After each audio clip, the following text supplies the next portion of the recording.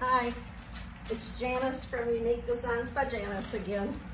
Um, today I'm painting a porch swing for someone and I just wanted to quickly show you how smoothly this goes on with Heirloom Traditions paint. As I said the other day, it's the only paint I use and it's just as simple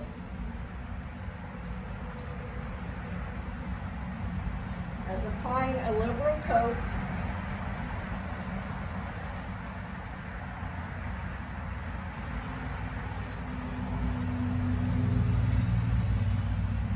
then for the smooth factory finish, you're just going to very lightly roll with this foam roller that I showed you last time.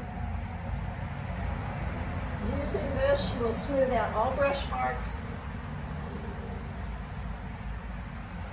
and have a smooth factory-like finish. So it's just completely that simple. A lot of people don't want to tackle such a big project.